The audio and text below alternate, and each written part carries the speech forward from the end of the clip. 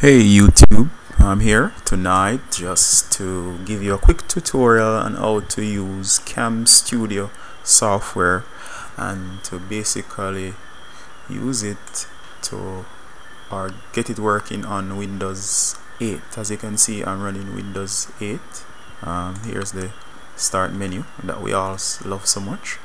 Um, as you can see here um, I have Cam Studio running. Actually it's what is recording my video. Now most times when you're using this software you're to realize that on installing it it will fail. Hmm. what to do? Here's what you do. Alright first you're gonna go to the Cam Studio website.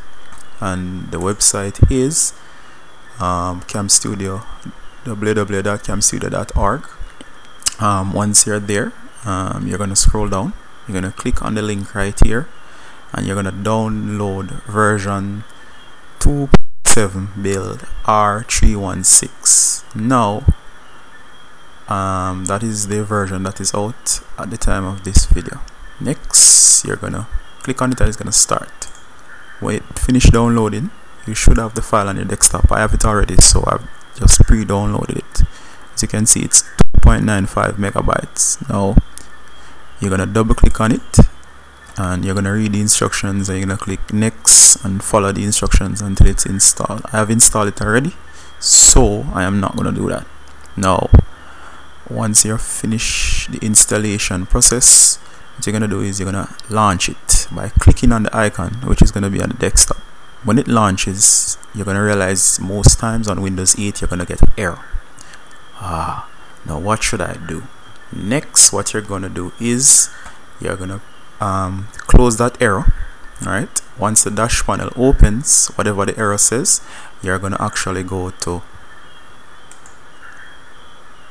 you're gonna go to option you're gonna go to video options and it should be on Intel IYUV codec whatever this is this one you're going to change it from that to this which is Microsoft Video 1 and you're going to press OK. And instantly what you're going to realize is that the software is going to start recording.